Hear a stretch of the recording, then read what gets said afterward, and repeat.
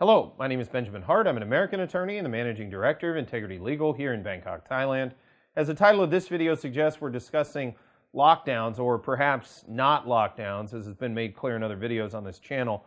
The government has made it explicitly noted that this is not a lockdown, that certain areas of Thailand are under highly controlled or various levels of control measures for this, you know, for this quarantine, whatever you want to call it.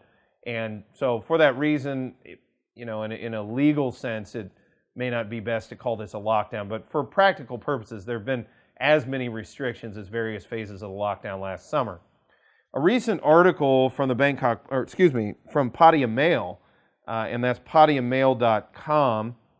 The article is titled, and Pattaya Mail has a lot of, uh, you know, a lot of the Pattaya press. I, I find a lot of the news, especially on immigration, that we we sort of comb through to figure out what's going on. There, there's a lot of good stuff out of the, a lot of the Pattaya press organs down there.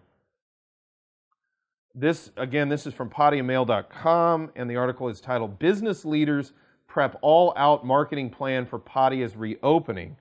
Quoting directly, he expects, and he is Ekasit Nangpichet, president of the Pattaya Business and Tourism Association. So, quoting directly, he expects that res- restrictions will be lifted soon, as Chonburi has reported only a handful of coronavirus cases this week, with no confirmed cases on several days. Rayong on Friday also reported no new cases, indicating that coronavirus outbreaks tied to illegal casinos and a Sriracha beer garden are over. So the it appears that it looks like things may be trending toward going I, I hate to use the term normal, but going back to what they were, let's say, at the beginning of the year, right before right before 2021 ticked over, before we had all this new restrictions imposed. It looks like things may be trending that way again for Pattaya.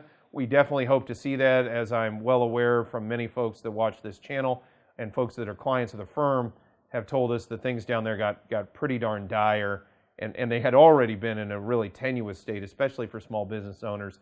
Totally understand those folks are really having a tough time right now. So I hope for their sake and, and everyone's sake that this you know situation has abated and we will soon see a lot of these restrictions being lifted. Now, that's stated. It remains to be seen exactly what happens with this, but we will try to keep you updated as best we can on this situation as it progresses and evolves.